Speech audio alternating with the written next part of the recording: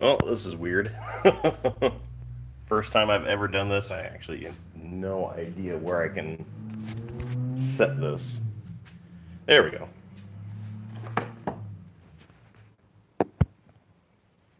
Stay. I'm gonna work on getting some rigs set up for this weekend while people trickle in here.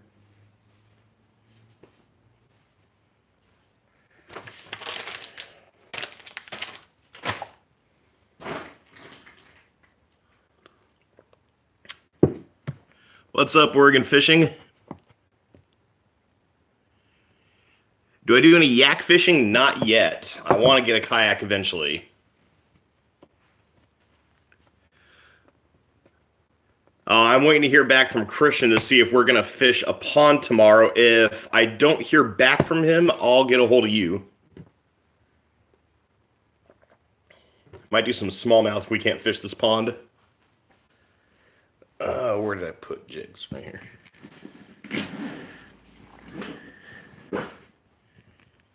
I should have been here. I'm going to work in an hour and a half.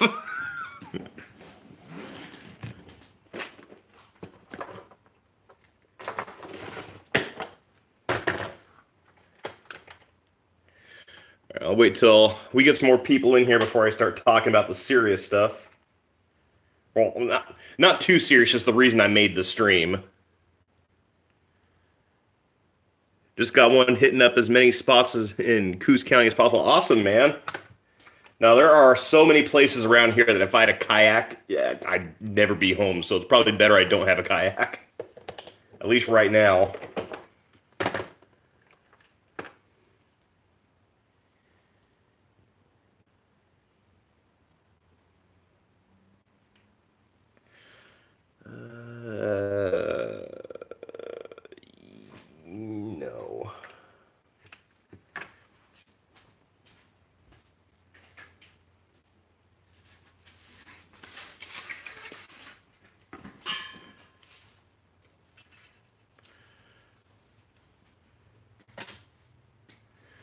Right, so I'll probably give it another uh, another five minutes before I start talking the serious stuff.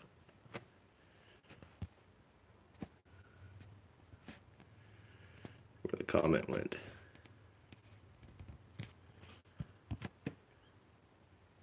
First time here, man. Like your videos. Thanks, man. I appreciate it.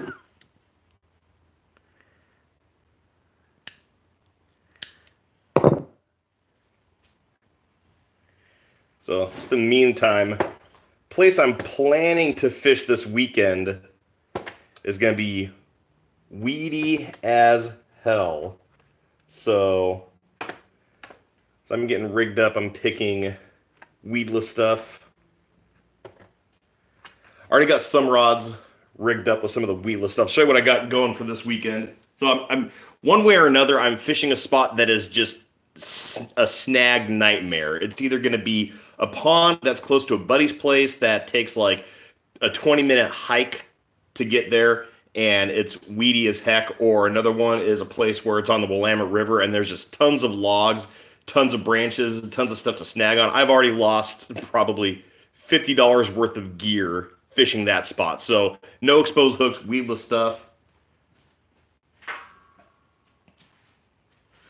Thinking about taking a swim bait.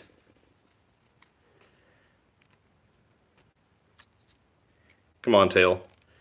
Yeah, five inch rage tail on a, I think that's a one eighth ounce weighted swim bait hook.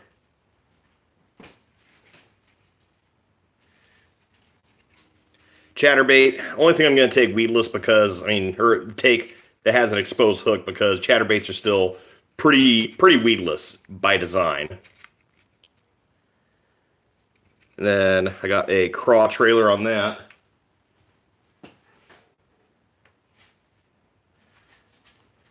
Frog because yes.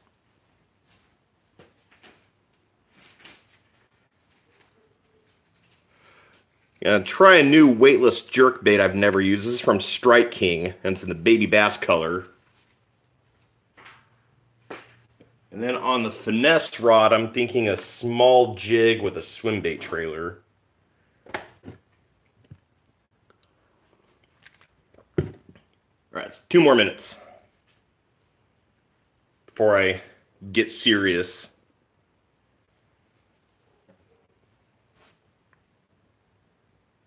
Oh, I suppose I'll show you guys. Yeah, thinking something like that. Sort of, it sort of mimics the color of the bait fish in any of the places I might be fishing this weekend. Sort of like a like somewhere between a crappie and a bluegill. We'll see how this works. Oh. Jig looks good. Yep.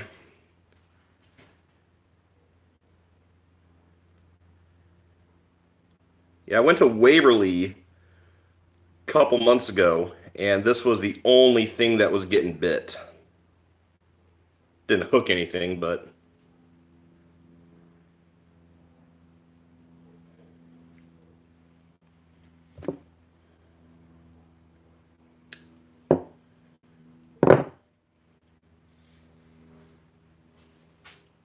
All right, so get this rod sleeve back on and we'll start getting into the nitty gritty of why I wanted to live stream today.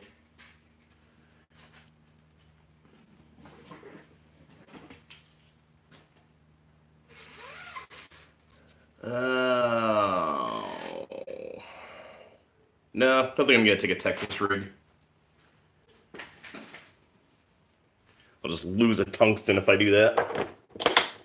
All right, so you guys have probably noticed my upload rate has declined severely. I haven't uploaded anywhere near as many videos as I wanted to this last uh, summer. I mean, normally in the summer, that's when I want my video rate to ramp up and upload at least uh, two, three videos a week.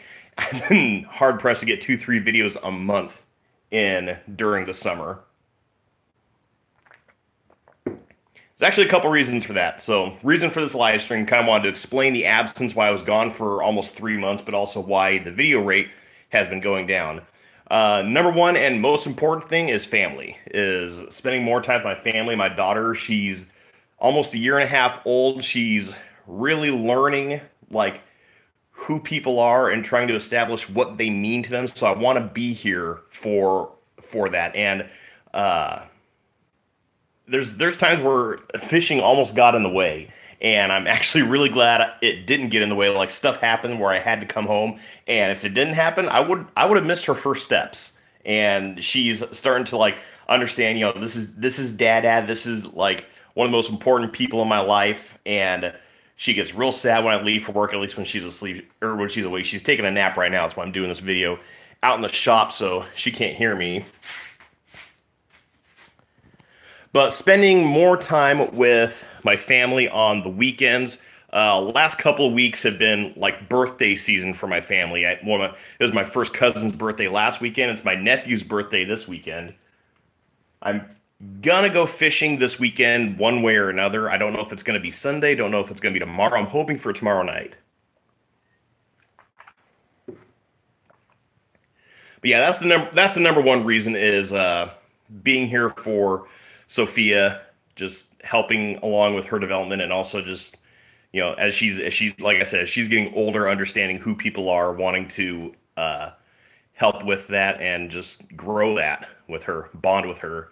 Uh, number two reason, if you guys couldn't tell, because this is Oregon, we've actually we've actually had the seasonal cliff come the earliest I can remember. So I always, if you guys have followed my channel for a couple of years, I talk about this thing called the seasonal cliff here in Oregon. It usually happens sometime in mid to late October when it just like pond fishing just absolutely dies off. And that's when, you know, here in here in the Willamette Valley, for the most part, bass fishing, pan fishing, rest in peace. Oh, read a couple comments here new drinking game for me then every time you take a drink of water. Take a drink of beer for you. Do it.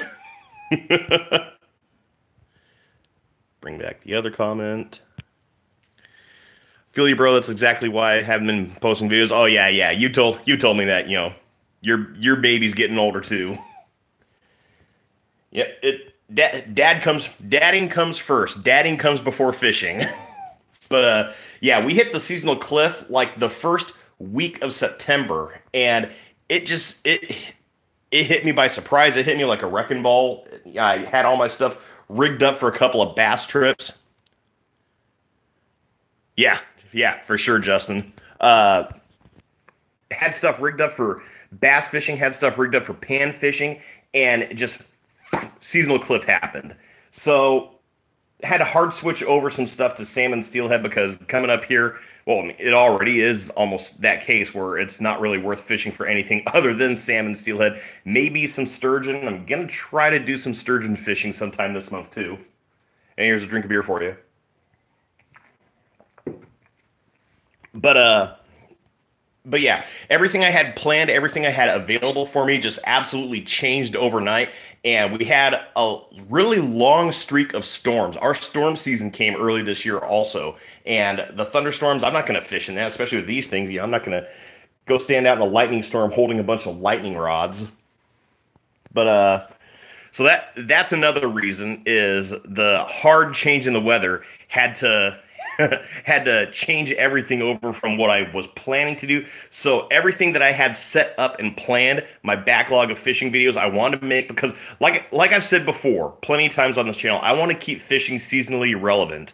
I want to teach you guys seasonally relevant fishing information. So when things change that hard, I I I, I need to like adjust, need to get stuff set up how I should be fishing based on now, not how I want to fish. Third reason why my video rate has severely declined, and this is the more serious one, is about a month ago. This is actually the start of my absence. About a month ago, I had a pretty serious health scare. And I mean, it's it's one of the reasons why you know, if you guys you guys can't tell guys that you know you you before I've lost quite a bit of weight in the last couple of weeks because I've had to. Uh, one of the things I had to get under control is my blood pressure. I'm doing fine. I don't want to worry anyone. I'm doing good. I I feel good. I, I feel like uh, probably 70%, which when this whole healthcare started, it was really bad. So I have not kept it a secret on this channel, not kept a secret to anyone that I have a world class digestive system. And I say that with every ounce of sarcasm that's in me. I have acid reflux, I have a hiatal hernia, I have IBS, I have a family history of some other things that I haven't been diagnosed yet, but there have been symptoms of those things there. It's just things haven't gotten to a point where they're going to officially say, all right, now we have to begin treatment for this. And it sucks trying to live around that stuff. And I had, so I, I should preface this first by saying that I used to be a first responder at the Target Distribution Center. And uh, one of the things that they train you to do when you work there as a first responder is to recognize the symptoms of a heart attack. And some of the worst things along with that is the esophagus and the heart share the same nerve cluster. That's why heartburn can mimic heart attack, heart attack can mimic heartburn. It gets to a point where the only way to know for sure is to go in and get an EKG done, to get blood work done to see if you are actually having a heart attack because there are specific proteins that appear in the blood during a heart attack that tell that tell uh, doctors that your heart is under stress and you're having an actual heart attack. And I had over the course of the day, I had chest pain and it was difficult to breathe. Uh, I started getting heart palpitations uh, near the end of the day and started getting real dizzy. And then when I came home, I just uh, sat down in my chair, uh, ate ate some dinner. It was gonna be like another two hours or so before I went to bed. Ate some dinner, and just out of nowhere, my heart just starts pounding, and I can feel it through my whole body. Like I could feel it in my feet, and I just suddenly got so dizzy, I thought I was gonna pass out. And that's when I went okay, it's gotten serious. I need to go to the ER. So that's what I did. Went to the ER, and um, I one. So I don't know if this is a good thing, but one of the reasons why they loved my visit is because I told them I'm a first. I'm a former first responder. I know the whole deal. You know, it it, it just went, it went by smooth. It, it it ran like melted butter. me getting checked in, me getting hooked up and everything to the EKG, getting the lab work done, all that. Um, was there for about an hour, and they came back and they gave me some stuff my for my esophagus, which told me, okay, I am just having heartburn bad enough that it's mimicking every single symptom of a heart attack. Don't know what the heart palpitations were about that, but yeah, it, it it did help. They gave me some stuff that numbed my esophagus. They gave me some stuff that reduced the acid, so I was out of there in two hours. Reason I was there for another hour is because they they thought I had something else that, like, when I followed up with my doctor, ended up being absolutely nothing. He was kind of he was kind of mad that the ER did that. But what followed after that was the health scare. Was so my my stomach issues that I've had for a really long time have taken a serious turn for the worse. And where there might actually be some esophageal damage that has happened. And that's the thing you have to be the most worried about if you have acid reflux is the esophageal damage. So I've had to change my lifestyle because of that. Like I just I you know understanding stuff already from living with this for a really long time, talking with my doctor. I've had to change uh, diet. I've had to change exercise. I've had to change activity is another thing.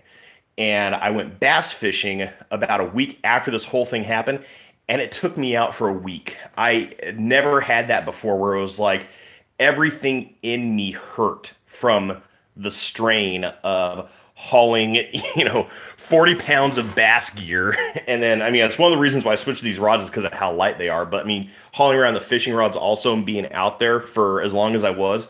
And then I took a break. I went salmon fishing. Uh, the same the same day I went uh, surf fishing and caught that huge surf perch out at uh, out in Lincoln City. I went salmon fishing at the mouth of the Siletz River uh, before that, and like that i don't know what it was about fishing that point there but i started getting that pain and started getting that like heart palpitation started getting that dizziness. I took a break. I went i went up to the Mo's and got some lunch and then i was like all right i don't think i'm going to do this fishing anymore. I'm going to do some surf fishing. I felt fine during the surf fishing but things have changed in my life. This whole thing in a nutshell putting a bow on it.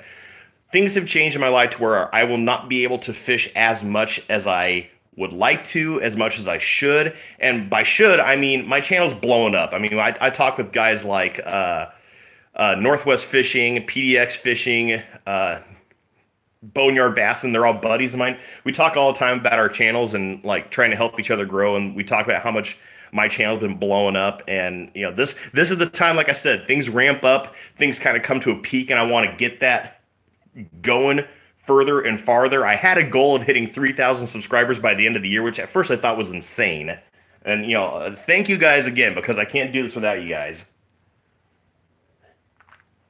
But yeah, thinking I was going to hit 3,000 subscribers by the end of the year pretty much scrapped that goal.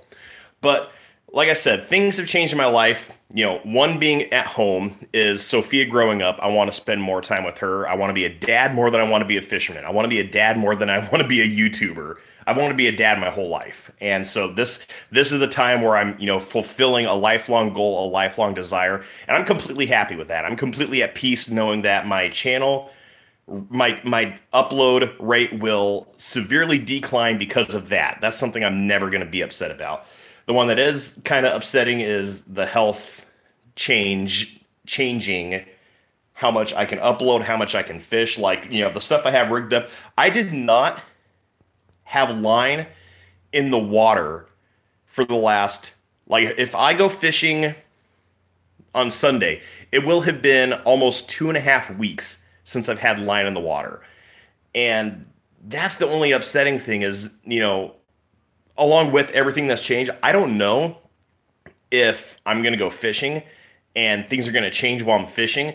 The thing that scared me the most about that surf fishing trip was the fact that it's a two hour drive from home and I started feeling that way. I'm like, what if what if things are different? What if this is actually, you know, the thing I don't want it to be and I'm hours away from family and that's that's another thing that's kind of played into this is I'm going to have to rethink things with fishing. Going to have to rethink um, distance I can go.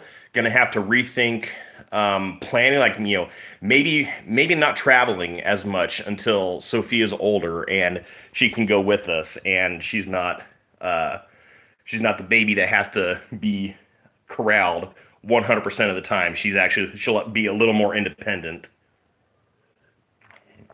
But she is so smart. She is so smart and careful. You know, I wish she was awake so I could show you guys like some of the stuff that she could do now. Like uh like I've I've seen her fall a couple of times and the way she falls like because I, I watch wrestling i'm a huge wrestling fan. I'm going to an nxt show here in a couple weeks. Logan what's up man? Uh, going to an nxt show here in a couple weeks and i i know because i've seen it so many times a safe way to fall. Got some potential plenty of local spots we can go. Dude I, i'm telling you next time like next time you're getting your channel up if i can't help my channel i'll help your channel. How about that? Um but like I know the safe way to fall, and I've seen her fall safely that safe way. And like no one's no one's taught her that. She just learned it on her own. And like the way she's like teaching herself how to walk and manipulate things she's i love her so much. She's she's so smart. Totally understand brother. We missed you at the surf champion. Dude i wanted to go to the surf championship let me know when you can we can go make up for it absolutely you know hit, hit me up on facebook instagram i mean you guys know where the links are I'm gonna get some more water. Follow me into the kitchen.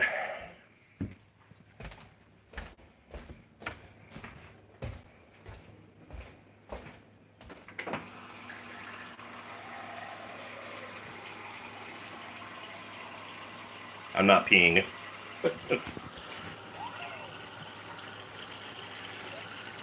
Ta-da!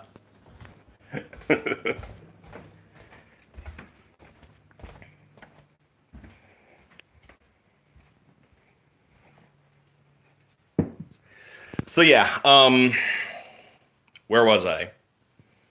Ch- uh, changing strategy with fishing and how I'm gonna continue on from here. I'm gonna try to stay as local as I can. With it, one of the nice things about it being the the winter, like it pretty much is winter right now. This is winter weather. We've had winter weather, not fall weather. We've had winter weather in Oregon for the last like two weeks or so. It's supposed to get get back up to 70 this weekend, which is why I'm going to take advantage of some pond fishing or maybe some river fishing for some smallmouth.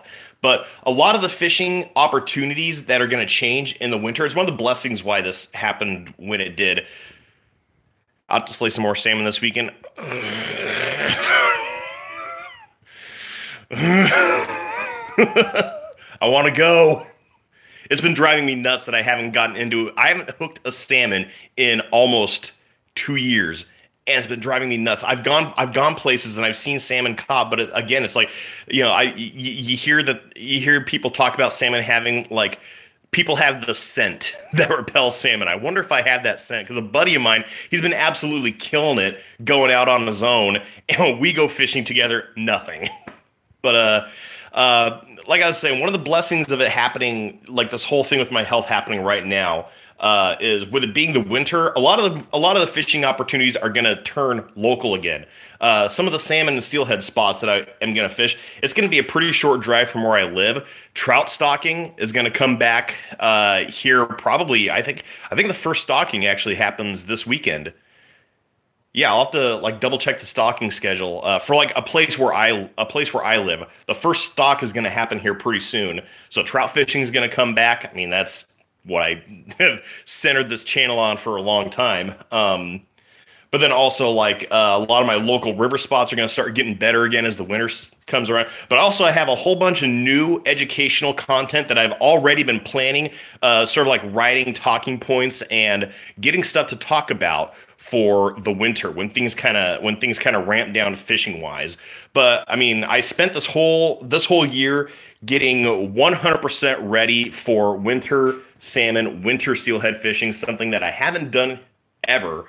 And well, I, have done the fishing, but I haven't been as prepared as I am now. Like the waders I have, the gear I have, specialized stuff. Um, you know, the stuff that I take with me now. It's it's no longer like five spinners. It's like 20 spinners. It's no longer like a, t- a twitching jig. It's now like 10 twitching jigs. So a lot more, a lot better prepared for uh, winter fishing opportunities. And with you know things going the way they are with my health, like I said, I am improving. This thing, this this thing, it will pass. I, I have I have the hope, I have the faith that this will pass. I'm doing the right things. I've you know like I showed you guys, I've lost weight. All my clothes are fitting better. I'm fitting in clothes I haven't fit in in like two years. Last night, my pants kept falling off. I kept having to pull them back up at work. Uh, so it's things things are going to get better. Number one thing I had to get under control is my blood pressure, and I that that was probably from you know partially from being uh, being working in a lab and not working at a distribution center like I used to, not being as active and work being cardio, but also the amount of coffee I was drinking at work. I don't do well just sitting in front of a computer. I kind of have to because of my back now. My body can't handle the work that I used to do, but I I've, I've got I've gotten better with that. I don't drink as much coffee. I do more cardio. I've, I've already dropped my blood pressure by 20 points since this whole ordeal began. Excuse me.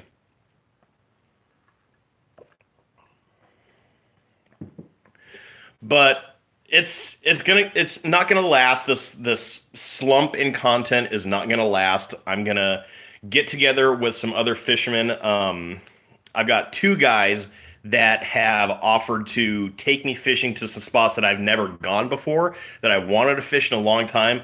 Uh, don't know when that's going to happen. I know one one of my friends his uh, his work schedule has gone absolutely bananas the last couple of months. So when he's got an opportunity to go fishing, we're going to get together. Uh, tomorrow, I I contacted Christian to see if he wanted to go fish the pond by his house and that'll be the largemouth fishing if we can. If not, I'm going to go to the river, do some smallmouth fishing, you know, Oregon fishing. Let me know uh, what your schedule is going to be like this weekend. Also, we could probably get together because I'm going to be fishing this weekend one way or another. I want to fish. I'm going to have the opportunity to fish.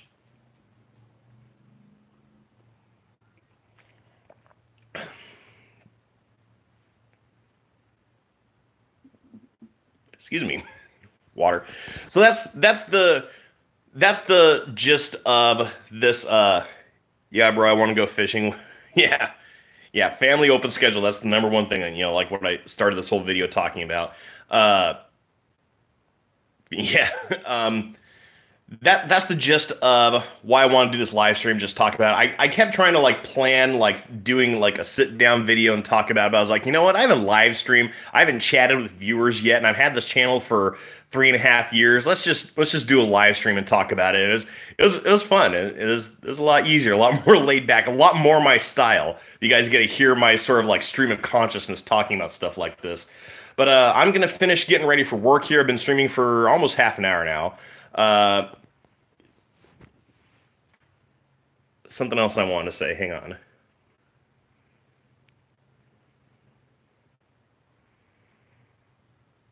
Cranial flatulence.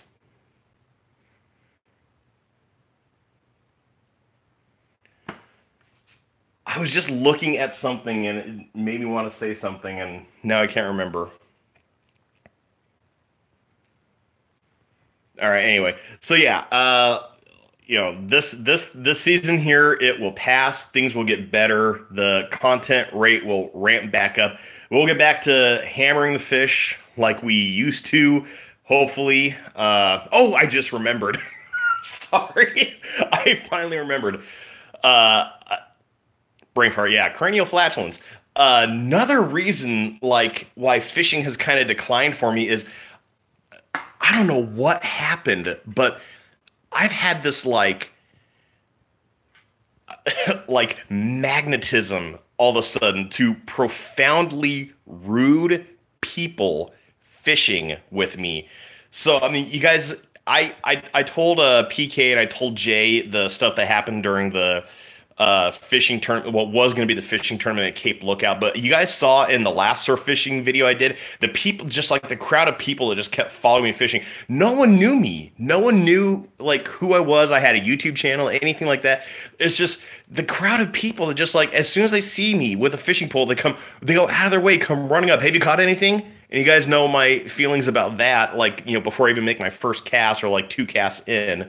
But uh people getting in the way, like you know the kids that kept running behind me wanting to get in the shot. I kept having to like do this as I'm doing my outro, trying to you know not be not be rude to the kids, but just be like you know hey come on I'm trying to trying to work here, but uh like some of the stuff that's happened is like I've like to the point where I had one guy, I was bass fishing, I was topwater fishing, and I came at the perfect time. I mean, the wind was exactly how I wanted it for the area I was going to fish for topwater for bass. And I went to a spot where bass fishing for topwater, it's like easy fishing.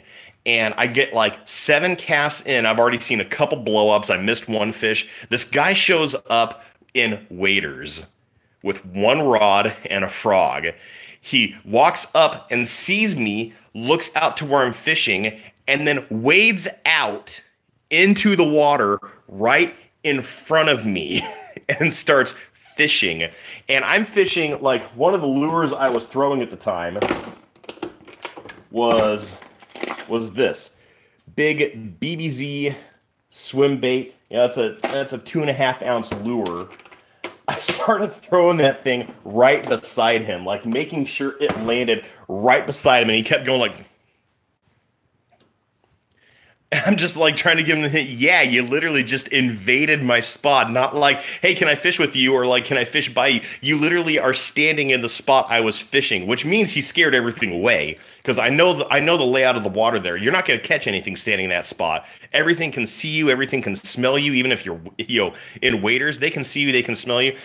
And he starts he starts like trying to act cool about it. Suddenly he starts going like, I've, I've been seeing them jump all like all week. I'm like, yeah, so have I. That's why I'm fishing here. And then like after a while, he like he recognizes me and realizes, you know, oh, that that guy has a YouTube channel. I've watched his videos. And he starts playing cool, and I, I left mad. I was so mad when I left. Like I came home and I I almost broke a rule. I almost broke one of my rules. I almost threw my rods. I came came home. I'm like, set them down, come inside. But that was the day that Sophia took her first steps. So you know, it yeah, it made me mad that you know profoundly rude people are making fishing difficult for me.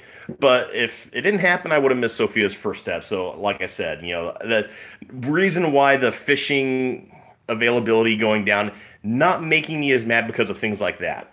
But yeah, I've I rambled a little bit there, so I'm I'm just gonna do what I said I'm gonna do. I'm gonna start getting ready for work. Uh, thank you guys so much for tuning in. Thanks for chatting with me. It was fun. I want to do more of these. Um, you know, when I when I upload this or when it gets uploaded, you know, feel free to keep uh, keep uh, talking in the comments. I'll be chatting during work. Like I'll like every time I take a break, I'll open up my phone and answer some comments while I'm at work. But you know, thank you guys so much for watching. As always, tips up, tight lines, and have fun fishing. Now, how do I turn the stream off? Oh, there it is. Later.